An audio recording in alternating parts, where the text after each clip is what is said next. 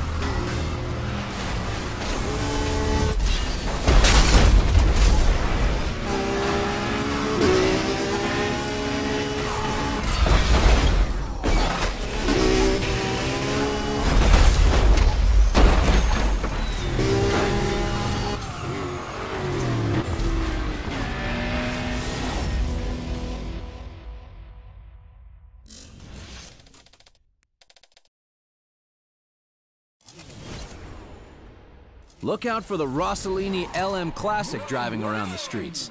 If you see it, shut it down to add it to your car collection.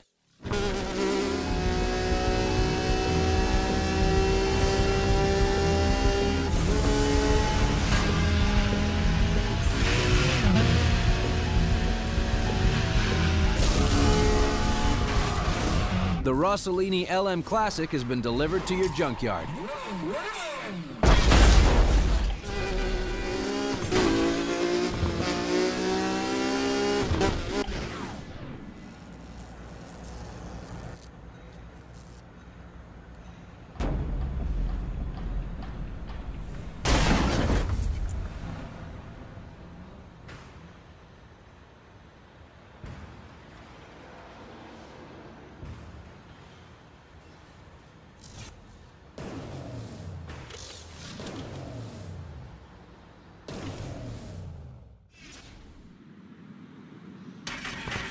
You